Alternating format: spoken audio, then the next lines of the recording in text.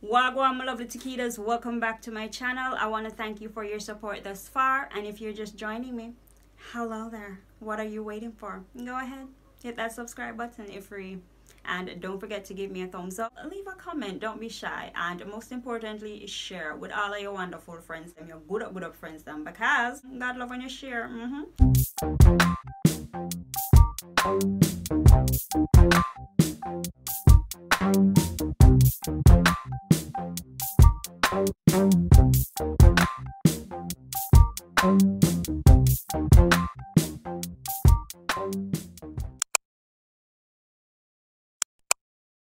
Hey guys, welcome back to my channel. If you're new here, thanks for stopping by. I really do appreciate it. And I would love it if you could give me a thumbs up, leave a comment, don't be shy. And most importantly, subscribe and share with all your wonderful friends. Now, today I'll be making some corned beef pasta. And if you want to see how I made this, then stick around because why not? Alright guys, so let's get into the ingredients. We have two cups of penne pasta. You can use whatever pasta you like. We have seven ounces of corned beef. We have a cup of Italian cheese medley. Here we have two small plum tomatoes a sprig of thyme a medium onion some scotch bonnet. The scotch bonnet is optional. You can omit the spice if you'd like. And we have half of a medium size or a large size bell pepper and we have about a teaspoon of ginger garlic paste. Here we have some salt free all-purpose and some all-purpose with salt and we also have some black pepper. I'll leave the measurements in the description box below. We have two tablespoons of grated parmesan. We have a sprig of thyme a clove of garlic two stalks of scallions we have two chicken bouillon. We have two teaspoons of salt a scotch bonnet. We have half of a tablespoon each of sweet thai chili and tomato ketchup. And we have some scallions for garnish. And yeah that's just about it. Let's begin. Okay so to the pot we're going to add four cups of water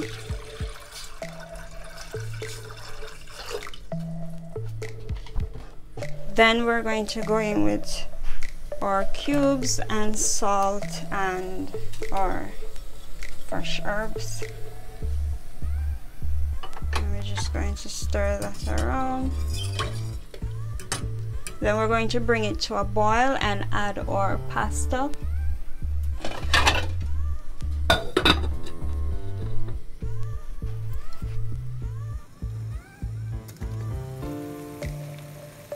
now have our water boiling. We're just going to add about a tablespoon of oil just so it doesn't stick. Then we're going to come in with our pasta.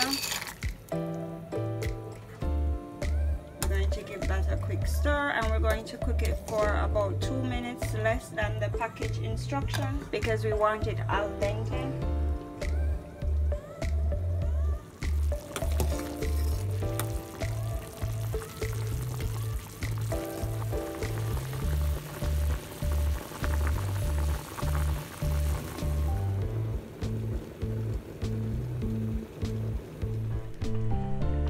And guys we are back. Our pasta is looking al dente. You want it when it's al dente you want it to still have a little chew in it. So we're just going to remove our seasonings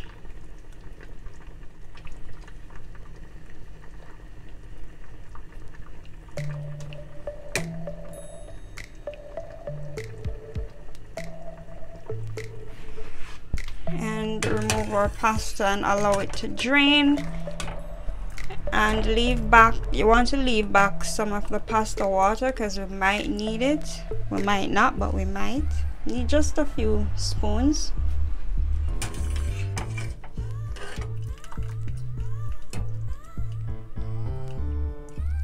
So now guys time for the fun part.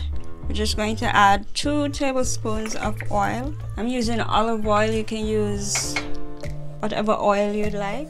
We're going to go in with our fresh herbs and veggies. Give that a quick stir. Then we're just going to add a pinch of salt just to bring out the moisture.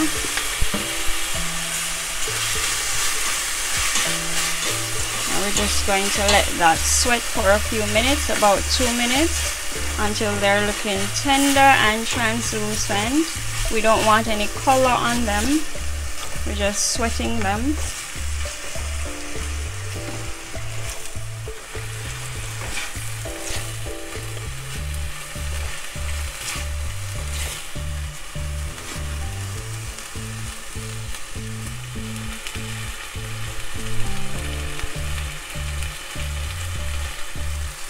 And at this point guys your kitchen should be filled with the tantalizing aroma of these wonderful combination of flavors.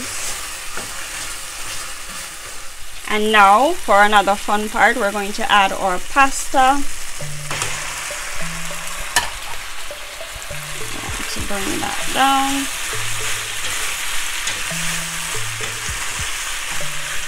And you want to kind of saute it a few minutes. Well not really a few minutes about a minute just to get these flavors combined.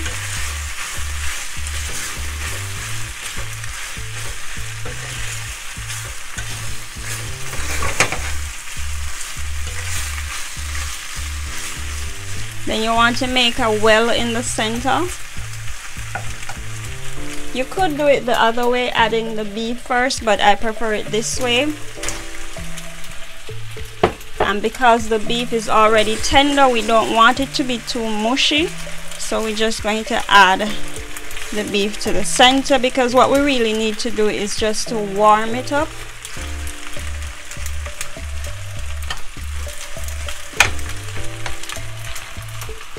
Then we're going to go in with our seasonings our dried seasonings our spices rather. We're going to go in with our dried spices give that a quick stir. And this is the point where you might want some of the pasta water. So you just give it about two spoons around the edges.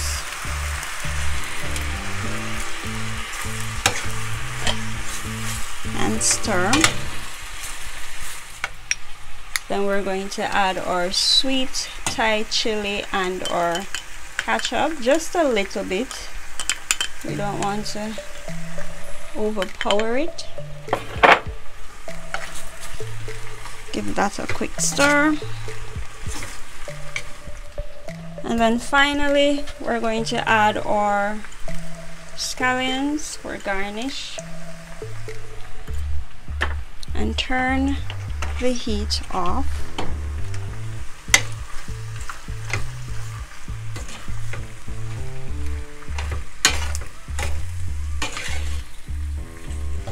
then guys. We're just going to sprinkle with our grated parmesan. Just over the top. Then we add our cheese and everything tastes better with cheese guys. Everything. And that is all she wrote guys. If you like this video remember to give me a thumbs up leave a comment come on don't be shy. Share with all your wonderful friends and most importantly subscribe Alright, so we're just going to take this up. Ooh, look at that. Look at that, guys. So beautiful.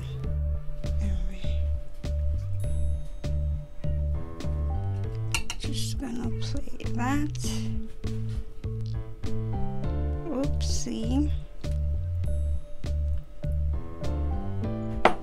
We should add a little bit more cheese. A little bit more parmesan. How about a little sprinkle of black pepper? Mm -hmm. And let's top it off with a little bit more scallions.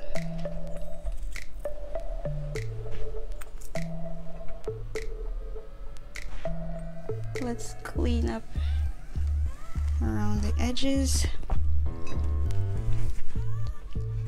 And yeah guys that is all she wrote. If you like this video remember to give me a thumbs up leave a comment come on you can't be shy. And most importantly share with all your wonderful friends and don't forget to subscribe. So shall we take a bite guys? Let's get a little bit of everything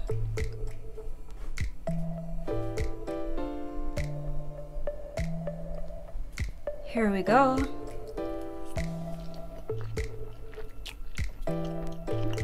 Mmm. Mmm. Guys, this one is a hit. I mean, we took a rather simple dish and we elevated it to like five star status, no less. Or you can add two more, seven star status. Because, and you see, because we seasoned our water, it allowed those flavors to infuse into the pasta, creating a mind feel of flavors in each bite. And then topped with the added layers of fresh herbs and spices.